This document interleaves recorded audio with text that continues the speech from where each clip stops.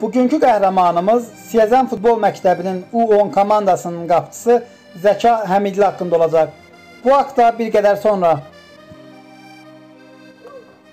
Siyəzən Uşaq Gənclər İdman Məktəbi artıq bir neçə ildir ki, fəaliyyətdədir. Məktəbin əsas məqsədi rayon uşaqlarını futbola həvəsləndirmək və sağlam gənclik formalaşdırmaqdır.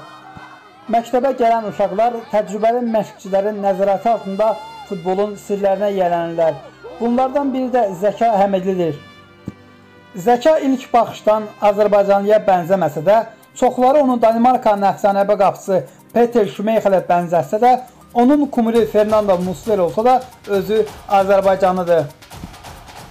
Zəka Həmidli 2011-ci il mayın 22-sində Siyəzən şəhərində anadan olub. Atası onu 5 yaşından Siyəzən rayonunun Uşaq Gənclər İdman Məktəbinin Siyəzən komandasına aparsa da 6 yaş olmadığından komandaya yazıla bilmədi. Nəhayət 1 il sonra həmin komandaya qatıldı. 7 yaşından isə Emin Nəzərovun baş məşqçisi olduğu Siyəzənin U10 komandasına dəvət alır. Qapıcı komandanın yarısıdır. Zəkanın 7 yaşından U10 komandasının qapısını qorumağı gələcəkdə daha ciddi uğurlar atmasının göstəricisidir. Zəkanın hal-hazırda 8 yaşı var.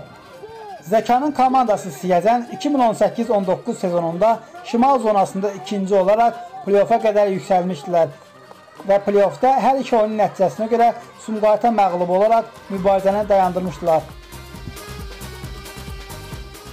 Ümid edirəm ki, Zəka Həmidli bu cür möhtəşəm qurtarışlar ilə daha peşəkar klubların diqqətini çəkərək həmin komandanın bir nömrəsi olar. Gələcəkdə Fərhad Vəliyev, Kamran Ağayev, Səlahat Ağayev, Emil Balayev kimi Zəka Həmidli də əsas milli komandamızın qapısını qoruyar. Niyə də ki yox? Bəlkə də Zəka Həmidli də Kəpəzinin futbolçusu Ümid Səmədov kimi 16 yaşında U21 milli komandamızın heyətinə cəlb olunar. Bəlkə də daha tez 7 yaşında U10 komandasının qapısını qoruyan futbolçudan yaxşı mənada hər şey gözləmək olar.